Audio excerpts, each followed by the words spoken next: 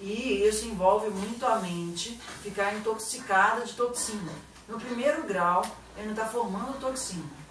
No segundo grau, essa toxina está chacoalhando no balde, mas a mente ela percebe aquilo longe, só que ela ainda não está passando toda hora dentro do sistema. Certo? Liga um incêndio, não sei o que, mas o incêndio não está pegando dentro da tua casa, em um certo sentido.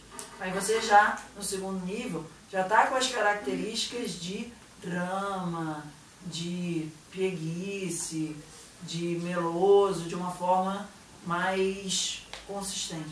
No terceiro, você já é isso, você se reconhece com isso, porque a alma está ventilando no teu sistema, e aí você já não percebe é, ciúme, apego, é, possessividade, como características que não são suas. A toxina saiu do balde. A toxina saiu do balde, está circulando pelo plasma e o plasma nutre a tua mente também. Então, no terceiro estágio, você já não tem um desconforto psíquico, você tem um problema psíquico em um determinado aspecto.